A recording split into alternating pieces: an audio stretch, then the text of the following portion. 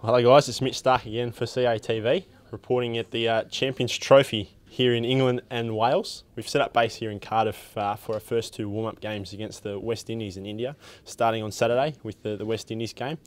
It's been uh, very cold and, and, and wet, but uh, we had some sunshine today to get outside and have a run around at our first training session. But uh, as is always the case at these ICC events, we've got some bat signings. Boys are going through their headshots, and we've got some interviews as well. And Mitch is looking nice and slick behind us here.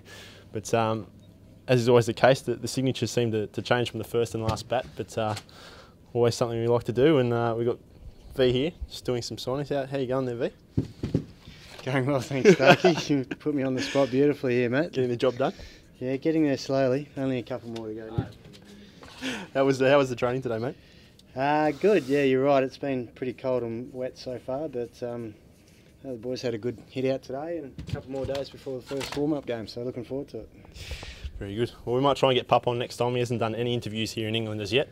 But uh, until next time, uh, we'll have some results from the, the warm-up games hopefully as well. So uh, look forward to uh, tuning in next, next time. Here from the ICC Champions Trophy